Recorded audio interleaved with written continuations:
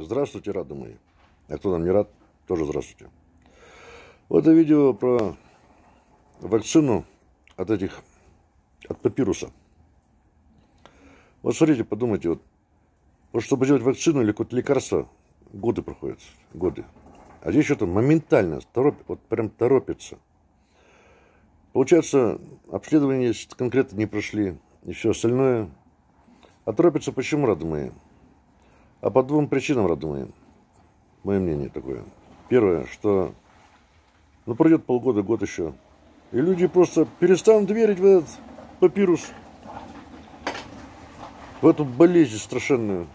Второе, тоже опасность для этих государств. Потому что сейчас же все позакрывалось. И уже практически в больнице не принимают все остальное. И, и люди, получается, как-то живут. Те люди, которые ходили вчера еще, вот, каждый день на приемы, что-то проверялись, сейчас их не пускают, эти больницы. И они вдруг поймут, что медицина-то им не нужна по, по счету-то.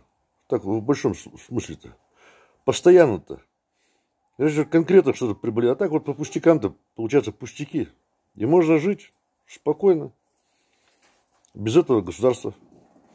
Насчет медицины. Понимаете, что интересно? И еще что Согласитесь, вот, как вот по телеку показали на днях, вот, что США вакцину-то сделали.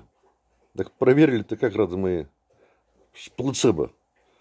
Плацебо дали одним людям, а другим вакцину поставили. И что, рады мои? И типа, рады мои, плацебо меньше выздоровления. Представьте, тут из 10 человек, допустим, 6 выздоровело, а в плацебе 5. Понимаете, это же ну это же, да какая то проверка-то, родной? Это же анекдот. И все лекарства так проверяют всегда. Ну а тут, а тут торопится, повторяю, торопится. Поэтому срочно им надо впихнуть людям вот эту вот вакцину непроверенную. Что там такое хитрое? У меня вот даже вот я недавно видео снимал, что там пожилые люди, инвалиды, почти все отказались от вакцинирования. Ну, так заранее так.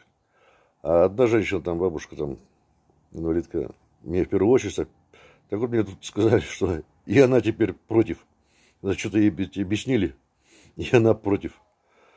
Вот такой вот анекдот, роды мои.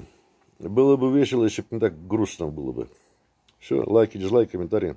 До свидания, родные.